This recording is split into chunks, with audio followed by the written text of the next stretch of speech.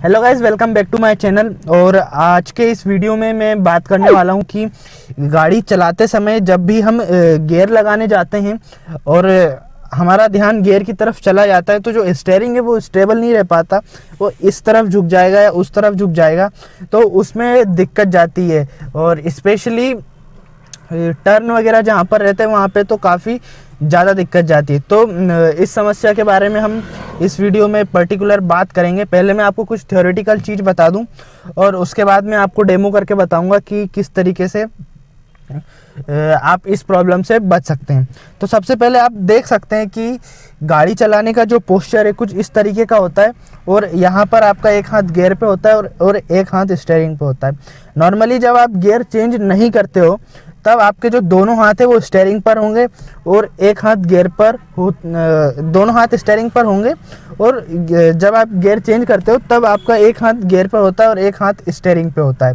तो जब भी आप, आपकी आदत हो जाती है कि आपको दोनों हाथों से स्टेयरिंग कंट्रोल करना है और जैसे ही आप गियर की तरफ़ जाते हो तो वो थोड़ा सा लेफ़्ट में आपका ध्यान चला जाता है और फिर आप आपका दिमाग आपको इंस्ट्रक्शन देता है कि आपको लेफ़्ट में जाना है और उस कारण आप हल्का सा स्टेयरिंग जो है लेफ़्ट में घुमा देते हो। तो उससे बचने के लिए आपको करना क्या है, या नए ड्राइवर एक गलती करते हैं, उससे हमेशा आपको बचना है। वो गलती ये है कि जब भी आप गियर चेंज करें, तब आपका ध्यान जो है मतलब नज़रें जो है सीधी सामने की तरफ़ होनी चाहिए और केवल हल्का सा ध्यान जो है वो गियर लीवर पे जाना चाहिए। हाँ आपको केवल पता लगना चाहिए कि हाँ गियर चेंज हो रहा है, लेकिन ध्यान जो है पूरा सामने की तरफ़ होना चाहिए। आपको गियर चेंज करते समय गियर लीवर की तरफ़ देखना नहीं है। यदि आपने गियर लीवर की तरफ़ देखा तो आपका ध्यान सामने से भटक जाएगा और जिस तरफ़ ध्यान जाएगा, आपका स्टेयरिंग भी उसी तरफ़ चला जाएगा।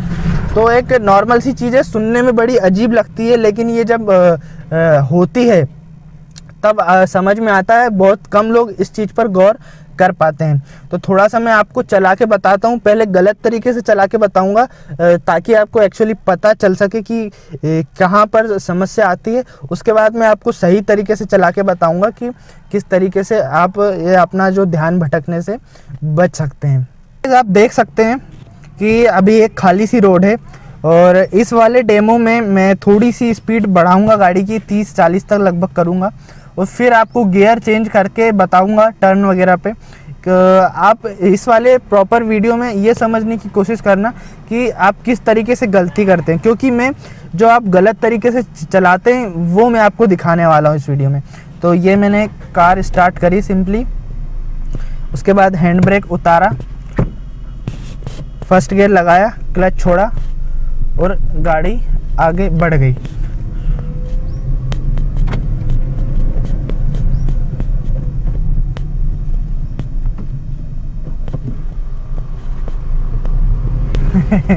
सामने आ गया। मैंने सेकंड गियर लगा दिया है।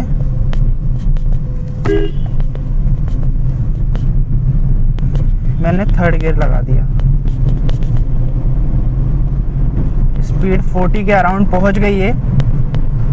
और अब आगे मैं एक राइट टर्न लेने वाला हूँ। तो अब यहाँ पर जैसे ही मैं टर्न लूँगा, और मैंने उसके लिए गियर कम किया तो अब मुझे मैं यहाँ पर घबरा जाता हूँ। मैं नीचे देखने लगता हूँ कि भाई कौन सा गियर लगाना है। और नीचे देखा तो मुझे लेना तो राइट टर्न था, लेकिन मैंने स्टेयरिंग लेफ़्ट की तरफ़ घुमा दिया। अब मुझे राइट टर्न लेने में दिक्कत हो रही।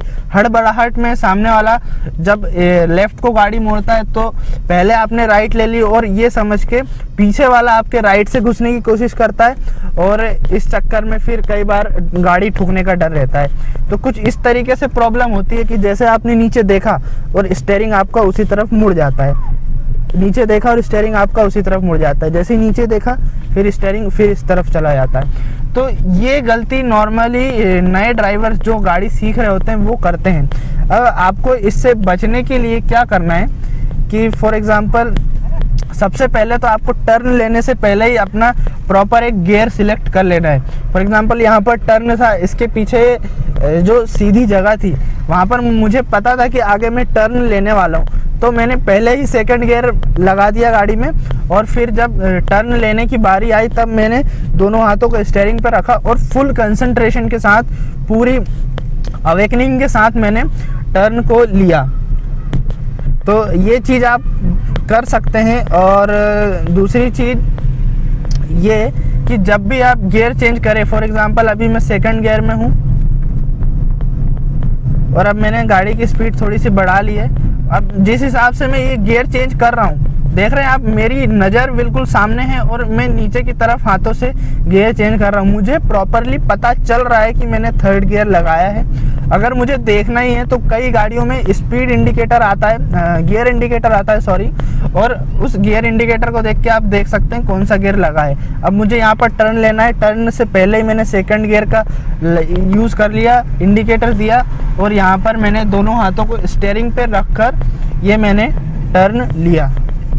तो इस तरीके से आप इस प्रॉब्लम से बच सकते हैं, और काफ़ी हेल्पफुल रहता है। एक बार जब आपको आदत हो गई इस चीज़ की तो फिर कभी भविष्य में आपको इस इस तरीके की दिक्कत आएगी नहीं।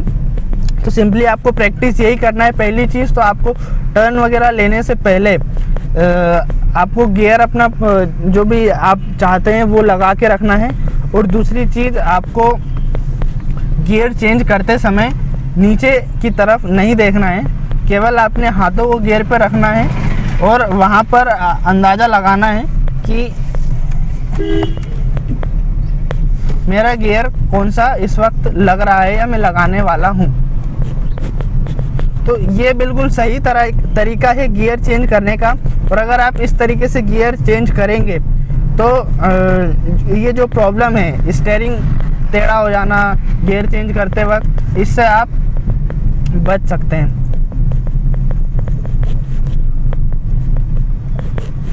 सो गैस फ़िलहाल के लिए आज के इस वीडियो में इतना ही था। अगर आपको वीडियो पसंद आए तो वीडियो को एक लाइक कर देना और बहुत जल्द मिलेंगे इस सीरीज़ की अगली वीडियो में। तब तक के लिए आप आ, मेरी ड्राइविंग की जो प्लेलिस्ट है उसे ज़रूर चेकआउट करें। उसमें मैंने पूरी लगभग सारे सवालों को और हर तरीके को कवर करने की कोशिश करी है और लगभग हर प्रॉब्लम को मैं सॉल्व कर रहा हूँ। अगर आपको ड्राइविंग से रिलेटेड कोई प्रॉब्लम आती तो आप आ, किसी भी वीडियो में कमेंट डाउन करें और मैं उस पर वीडियो बनाने की ज़रूर कोशिश करूँगा। बाकी मिलेंगे अगली वीडियो में तब तक के लिए नमस्कार धन्यवाद जय हिंद।